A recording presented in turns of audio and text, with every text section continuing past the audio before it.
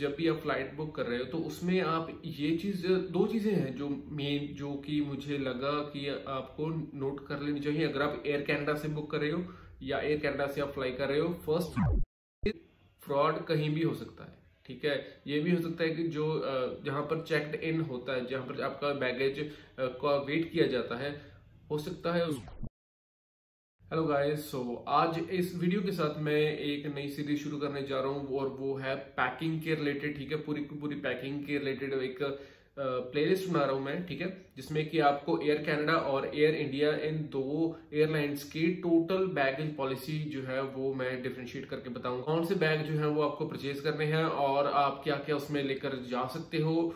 क्या चीज़ अलाउड है, क्या चीज़ नहीं अलाउड प्लस आपको किस तरह से पैकिंग करनी है?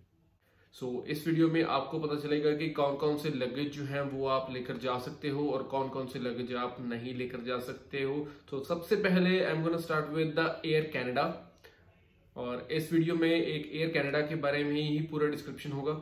सो एयर कैनेडा में आपको बैगेज जो आप क्या क्या लेकर जा सकते हो। तो जो सबसे पहले जो चेक इन बैगेज हैं वो आप दो लेकर जा सकते हो। दोनों 23 23 केजीज के होने चाहिए।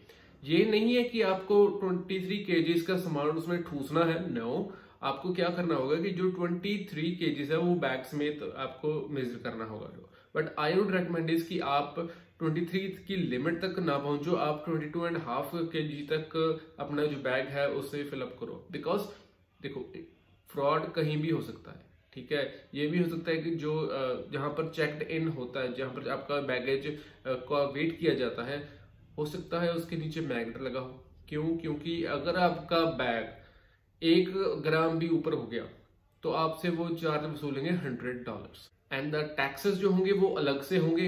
और ये नहीं पता कि हंड्रेड आपको कनेडियन डॉलर्स पे करने होंगे या फिर आपको यूएस डॉलर्स पे करने होंगे। तो आपको पाँच से लेकर आठ हज़ार तक का जो नुकसान है वो हो सकता है एट अ टाइम और ये पर बैग है, अगर आपका दूसरा बैग भी तेईस किलो का हुआ और वहाँ पर भी नीचे मैग्नेट तो पहले, अगर पहले से ही है तो फिर वो तेईस से ज़्यादा वेट दिखाएगा and that would be two hundred dollar plus tax तो अब दूसरी बात आती है कि उसका साइज़ क्या होना चाहिए बैग का। बैग का जो साइज़ है including handle and including the tyres जो नीचे रोलर्स लगे होते हैं, उन सभी को मिलाकर 62 इंचेस का होना चाहिए length plus breadth plus height okay तो length plus breadth plus height जो है वो आपकी 62 इंचेस से कम होनी चाहिए, ज़्यादा नहीं होनी चाहिए। ज़्यादा हुई तो वो ओवरसाइज की कैटेगरी में आएगा और फिर से आपको वही हंड्रेड डॉलर्स जो है प्लस टैक्सेस वो आपको पे करने पड़ सकते हैं। सो मेक श्योर कि आप जो चेक इन बैगेज है वो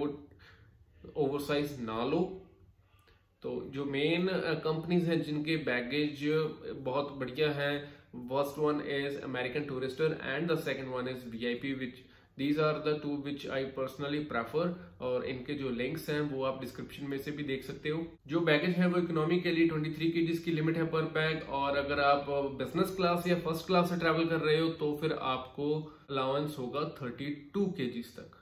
यानी कि आप 32 टू तक के बैग्स वहाँ पर आप लेकर जा सकते हो, अगर आपने बिज़नेस क्लास ली है तो। कैरी ऑन बैगेज में आपको दो चॉइसेस दी जाती हैं और दोनों ही आप लेकर जा सकते हो। फ़र्स्ट वन इज़ की कैबिन बैग जो कि आमतौर पर स्टैंडर्ड आर्टिकल भी कहलाता है, और उसकी जो लिमिट होती है, वो दैट इज़ सेवन किलोग्राम्स और जो दूसरा होता है that is your personal article जिस, जो कि हम बॉडी के ऊपर भी वियर कर सकते हैं जस्ट एज फैनी पैक जो स्टैंडर्ड आर्टिकल है, जिसकी लिमिट सेवन के जी तक है, वो उसकी जो डायमेंशन है मैक्सिमम डायमेंशन दैट वो शुड बी 21.5 इंचेस लंबा होना चाहिए 9 इंचेस उसकी हाइट होनी चाहिए, और 15.5 इंचेस उसकी ब्रेथ होनी चाहिए।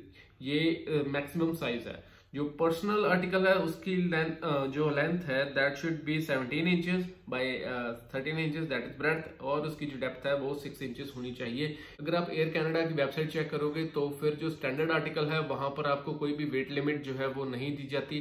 तो उसमें जो मेन चीज़ ये है कि आप जितना मर्ज़ी उसमें वेट डाल सकते हो, लेकिन आप आराम से बिना किसी हेल्प के आप जो ऊपर कैबिन बने होते हैं जहाँ पर आप अपना सामान रख सकते हो उसमें आपको रख देना होगा easily without any kind of external help अगर आप नहीं रख पाओगे so that would be called as overweight तो स्टैंडर्ड और पर्सनल आर्टिकल में आपके carry on bag roller bag भी आ सकते हैं बैकपैक भी आ सकते हैं ब्रीफ केस भी आ सकता है लैपटॉप बैग भी आ, आ सकता है या फिर छोटे जो पेट्स हैं उनके लिए जो बॉक्स बनाया होता है वो भी आ सकता है।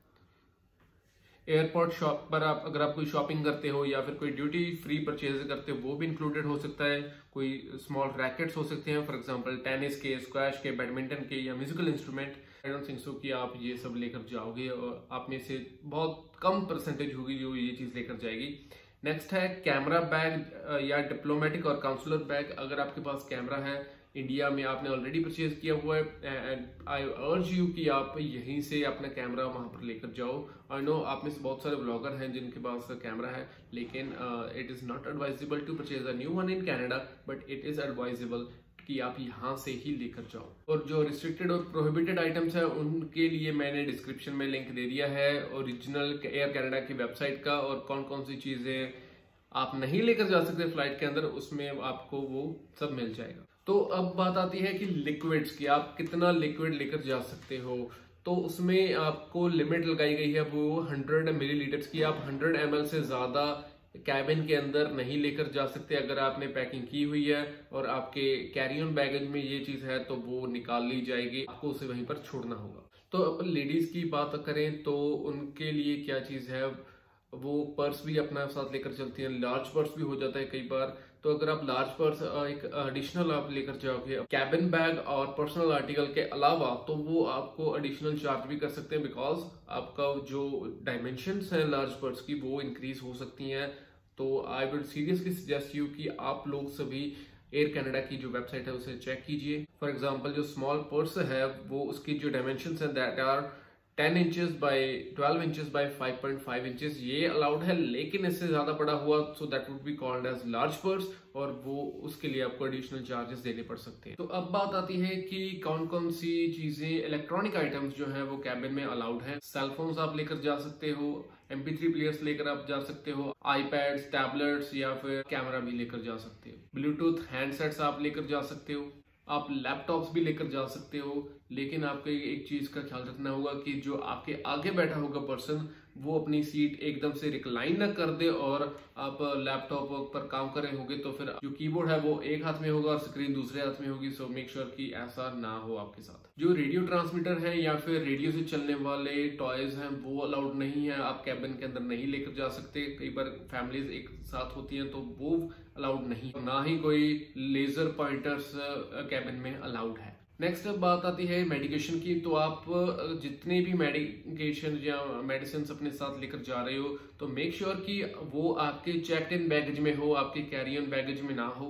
अनदर थिंग इज़ जब भी आप फ़्लाइट बुक कर रहे हो तो उसमें आप ये चीज़, दो चीज़ें हैं जो मेन जो कि मुझे लगा कि आपको नोट कर लेनी चाहिए। अगर आप एयर कैनेडा से बुक कर रहे हो या एयर कैनेडा से आप फ्लाई कर रहे हो फ़र्स्ट इज़ कि आपको मील उसमें इंक्लूडेड है या नहीं क्योंकि कुछ फ्लाइट्स में शायद मील इंक्लूडेड नहीं है सो प्लीज़ uh, वो चीज़ चेक करो। सेकंड चीज़ उसके प्राइस क्या है ठीक है? फ़्लाइट के अगर आपके प्राइस जो है वो इकोनॉमी क्लास और बिज़नेस क्लास या फ़र्स्ट क्लास वो सेम हो रही है तो फिर आपको फ़ायदा क्या? आपको ज़्यादा पैसे देकर इकोनॉमिक क्लास में जाने का फ़ायदा क्या? अगर आप सेम अमाउंट में या थोड़े से दस हज़ार बीस हज़ार ज़्यादा देकर आप बिज़नेस क्लास में ट्रेवल कर सकते हो। प्लीज़ अगर आपका इतना ज़्यादा डिफरेंस नहीं है फ़र्स्ट क्लास से या बिज़नेस क्लास से इकोनॉमिक क्लास का so please to took the business class क्योंकि ज़्यादातर हम इकोनॉमिक क्लास में ट्रैवल करते हैं and that experience is not as good as business class business class में आपको एक सीट्स इंडिविजुअल मिलेंगी और वो लाई फ्लैट सीट्स होगी, यानी कि वो पूरी की पूरी डिक्लाइन हो जाएँगी, आपको एक पर्सनल स्पेस मिलेगा बिज़नेस क्लास से अगर आप ट्रैवल करोगे तो हाँ एक्सपेंसिव ज़रूर है लेकिन प्रीमियम इकोनॉमी या इकोनॉमी से बहुत ज़्यादा डिफरेंस है। ये वी का प्रीमियम लाउंज सर्विस नहीं है कि हाँ जी आ, वहाँ पर आपको कुछ नहीं दिया गया था नो बिज़नेस क्लास में आपको ऐसे ट्रीट किया जाएगा जैसे आप गेस्ट आए हो। सो मेक श्योर कि आपके जो डिफरेंसेस हैं इकोनॉमिक क्लास और बिज़नेस क्लास में वो ज़्यादा सिग्निफिकेंट ना हो ठीक है?